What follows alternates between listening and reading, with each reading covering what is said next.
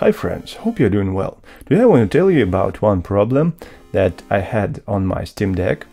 I think it's not a really huge problem for me, but many people wrote uh, in my comments of my video that uh, I was released about two weeks ago or one month ago. In that video I showed how to call the keyboard in desktop mode and it was a strange thing uh, that many people asked me to help because they had a problem when they did it.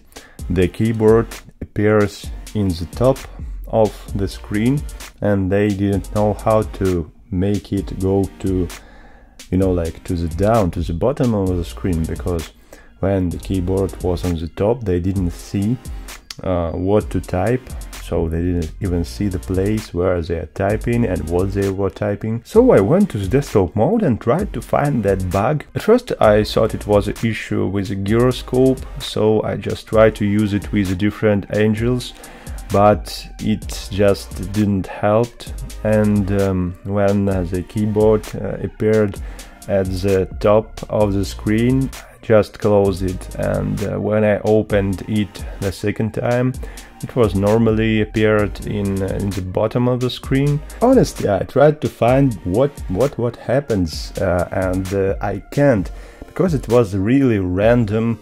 At first I thought it was about gyroscope, but I tried to make it with different angles and it just it happens occasionally you know? Uh, it doesn't depend from angel you just hold your steam deck. Maybe it's a bug or maybe it's a feature but it happens randomly.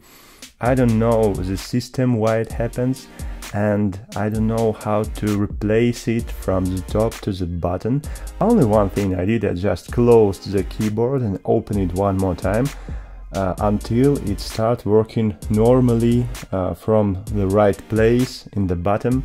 The next time I close the browser and open it again, it just happened again. So I think it's like a bug and uh, to deal with it we must wait a firmware update or something like that. So just to fix it, try to close keyboard and open it one more time.